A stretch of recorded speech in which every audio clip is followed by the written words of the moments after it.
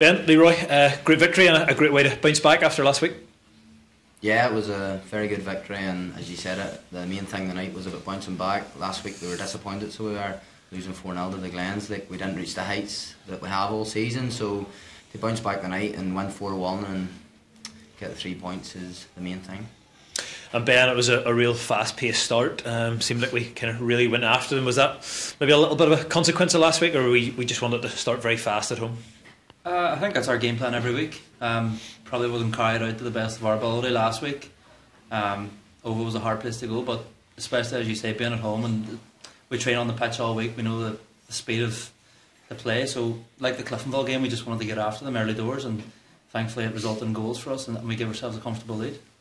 Uh, and Leroy, that, that first half, you know, we, we were ruthless, but we, we also had maybe some chances outside the goals as well. The four that we did score, it was just maybe one of those nights where uh, things really went for us, and we, we really turned the screw and we had the chance. Yeah, the game plan was to just do what we done against Cliftonville, get on top of them early and just force them into mistakes. And I thought we'd done that brilliantly, and we got four good goals, and we got more chances to go with that. But on another day they go in, it's five or six. But we'll take the four goals in the first half and gave us a good platform to go out in the second half. And that second half, Ben, we. Uh, you know, we sort of managed the game quite well. Just maybe caught with that, that very late goal. Is that is that something that the squad are nearly sort of disappointed by that we didn't come out with a clean sheet?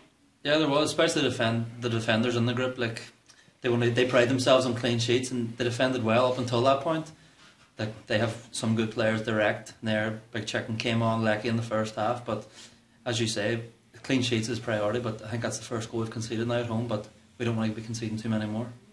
And Leroy, on a, on a personal note, a really good night for yourself. Um, a goal and, and a hand, and, and some of the others as well. Yeah, scoring a goal and getting an assist tonight, it's always a bonus. But the main thing is getting the three points. And thought the team performance just in the first half was unbelievable from the boys. So it was. So thankfully, as I said, three points and up the road. Uh, uh, ben, he's probably uh, too modest to, to, mention it, but we, we probably missed him last week when he went off at half time, forced off with with uh, the the shiner that he, he's still um, sporting there. Yeah, we did big time. Um, I think he gives you that presence in the middle of the park. Maybe last week we. It's no harm to any of the other boys. It's just his game is getting in people's faces and, and chasing after people. We probably did miss that, um, and we got caught on the break a few times then when we tried to, to go and get something from the game. But listen, look, it's a long way to go. It was one game, and hopefully that's just a bump in the road for us. Yeah, and, and uh, those last four games have been against the four Belfast clubs.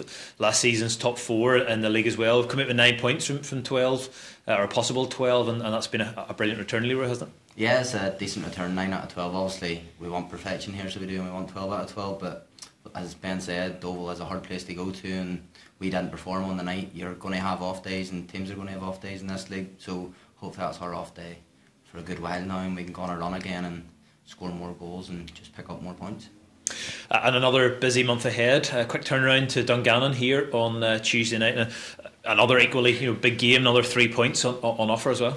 Yeah, exactly. You get the same from Dungannon on Tuesday night. You, you do playing against the four bigger teams. It's three points at the end of the day, and we'll just be going on to the next one now. Yeah, Leroy, and uh, as we play another game at Inver, uh, it's a chance to, to, to, try to do you know all the things that we, we did uh, so well tonight. Try to get on top of them and try to play well and, and take the game to them, presumably. Yeah, as you said it there, just taking the game. It doesn't matter who we're playing here at Inver Park, we want to take the game to them. And Dungan's no different, as Ben said, to the top four teams. We're just going to go out with the same game plan and press them early, and hopefully get the joy that we did tonight.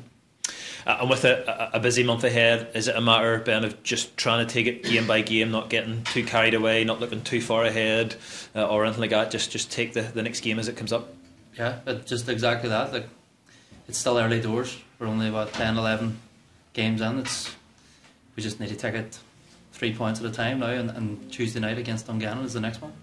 Uh, and finally, you know, confidence must be high uh, in terms of where we are in the league, how we've started, you know, how we've bounced back from the first set back in the league, and all the rest of it. You know, we're we're kind of meeting challenges head on as they come to us.